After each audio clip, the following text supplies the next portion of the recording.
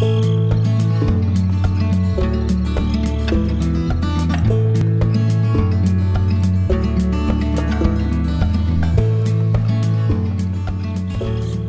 pagi, salam sehat untuk kita semua.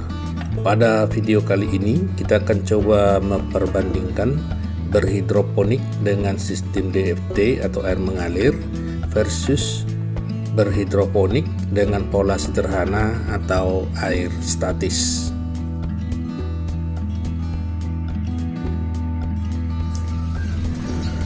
Inilah sayur sasim yang berumur 25 HST dengan pola tanam sederhana tanpa aerator jadi kalau kita lihat pertumbuhannya memang dibandingkan dengan air mengalir atau DFT cukup jauh perbandingannya baik di perakaran maupun di pertumbuhannya.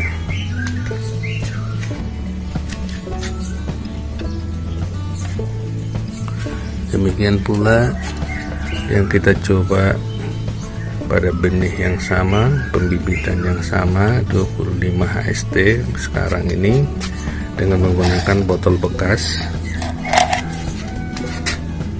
Pertumbuhannya juga jauh dibanding dengan sistem air mengalir atau DFT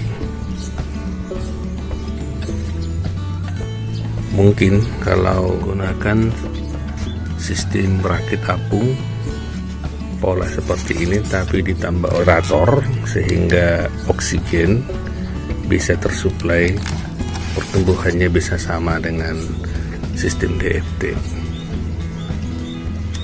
kalau kita lihat di perakarannya ini cukup akarnya saja sudah penuh dan panjang.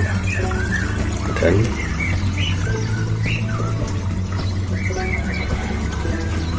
tumbuh cukup besar.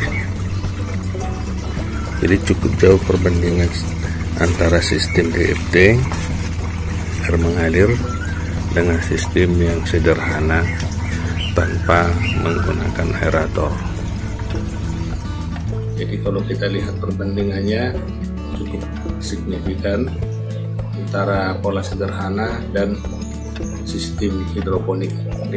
Demikianlah perbandingan antara sistem sederhana dan sistem air mengalir berhidroponik cukup jauh perbedaan antara kedua-duanya